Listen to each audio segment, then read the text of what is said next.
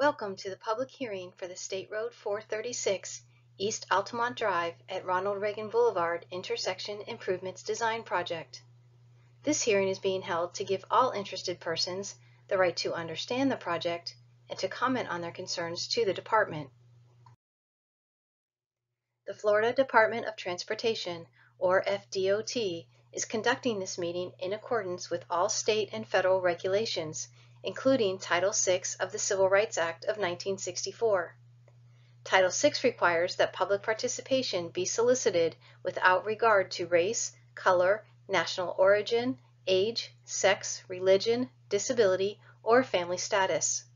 Persons wishing to express their concerns relative to FDOT compliance with Title VI may do so by contacting Jennifer Smith, FDOT District 5 Title VI Coordinator, or Jacqueline Paramore, State Title VI Coordinator, at the addresses shown here. All inquiries or complaints will be handled according to FDOT procedure and in an expeditious manner. In November 2010, Florida enacted Senate Bill 1842, which requires the department to hold a public hearing whenever modifications to property access are proposed along a state highway. Hearings must be held 180 days prior to finalization of the design of the project. This public hearing is being held relative to State Project Number 434931-1.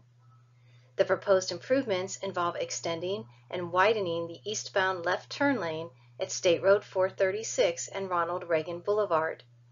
These improvements will increase the capacity and accommodate traffic volumes occurring during the afternoon and evening peak hours.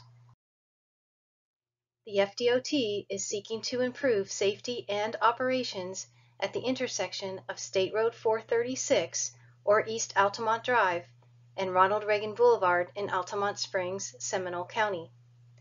Operations can be improved by providing additional storage for the eastbound left turns from State Road 436 onto Ronald Reagan Boulevard.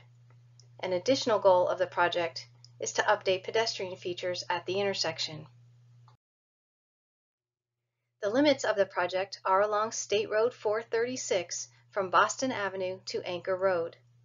The limits of the proposed intersection improvements are from Hermit's Trail to east of Ronald Reagan Boulevard. Outside of the intersection improvement limits, the existing sidewalks will be widened from Boston Avenue to Anchor Road Existing signals will be upgraded to mast arms, and the westbound right turn lane at Boston Avenue will be extended.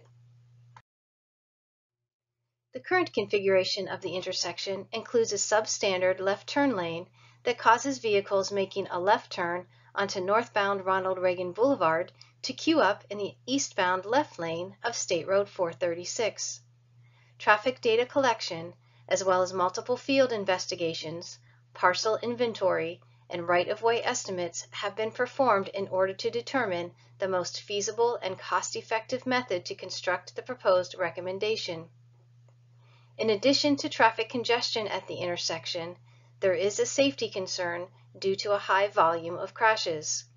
Between January 2014 and December 2016, a total of 190 crashes were documented within the improvement limits. Five of these crashes involved pedestrians and bicyclists. The proposed improvements will construct dual left turn lanes and extend the existing eastbound left turn lane to accommodate the existing and future traffic volumes.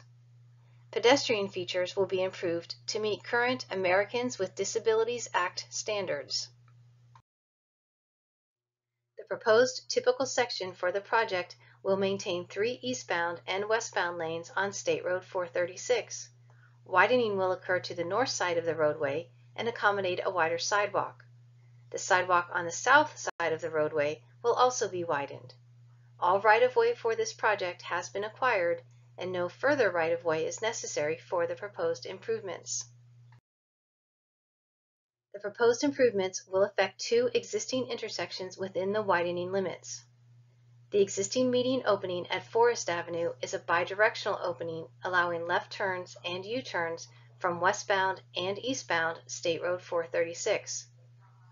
The existing median opening at Newburyport Avenue is a full opening with an emergency signal for the City of Altamonte Springs Fire Department.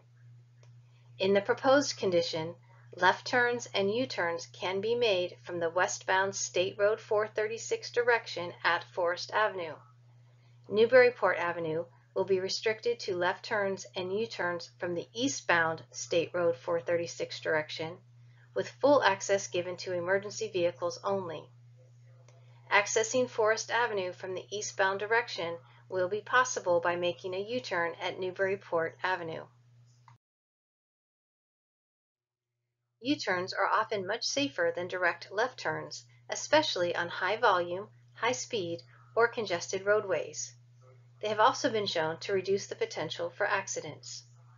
Research on the safety of U-turns indicates that crashes causing injuries or fatalities are reduced by 27% and total crash rates are reduced by 18% through encouraging right turns followed by U-turns compared to direct left turns. Also as part of this project, the existing stormwater drainage system will be improved and the existing drainage patterns will be maintained. New inlets will be added to accommodate the additional pavement. All drainage improvements will comply with local jurisdictions and the St. Johns River Water Management District. This project is currently in the early design phase. Plans are anticipated to be completed by spring 2019. Construction could begin as early as fall 2019. During construction, measures will be taken to ensure the safety of construction workers and the traveling public. To provide this measure of safety, lane closures will be needed. Access to businesses and residences will be maintained during construction. This project is being coordinated with LYNX to ensure bus services are not disrupted. No additional right-of-way, aside from what has already been acquired, will be needed. For more information about this project, please visit www.cflroads.com. This website is the FDOT's living platform to keep you and the public informed of current and future projects. You are encouraged to visit the website, which contains the links to easily access online information to stay up to date on the status of the project. Once you have accessed the project website, you will be able to view the current project schedule, project contact information, and access project files, such as this presentation. Type the project number 434-931-1 in the search box at the top of the page. Then click on Go. When the new page opens, click on the project file name. We encourage you to share your comments with us, and there are many different ways that you can do that. One way is to provide your comments verbally during the official public comment period following this presentation. You may also fill out a comment form and drop it in the comments box at the comments table, or take the form with you and mail it to the address shown on the form. You may also email your comments to Mr. Ty Garner, FDOT Project Manager at ty.garner at dot.state.fl us. You may also make a comment to the court reporter or use the Ask a Question button on the CFL Roads website on the State Road 436 page. All comments that are received by October 22, 2018 will become part of the official public hearing record. After this presentation, we will collect speaker cards from anyone wishing to make a verbal statement. We ask that you speak into a microphone and limit your comments to two minutes. Your comments will become part of the official public record. And because it is very important for us to hear from you, we will not be responding to questions during the public comment time, but we will be listening to your comments very carefully during this formal setting. Once the official comment period is closed, project staff will be available at the displays to answer any questions. To submit a written comment, Please fill out a comment form and drop it in the comments box, or take it with you and mail it to the address shown on the form.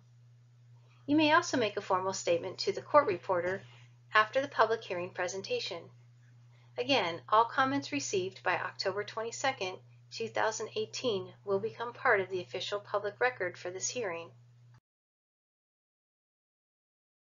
If you have questions or would like more information, please contact Mr. Ty Garner FDOT Project Manager, or Consultant Project Manager Mr. Joseph Kiesel by mail, telephone, or email. We appreciate you for taking time to attend this public hearing. Thank you for your interest and participation in this important project. This is the end of the recorded portion of the presentation.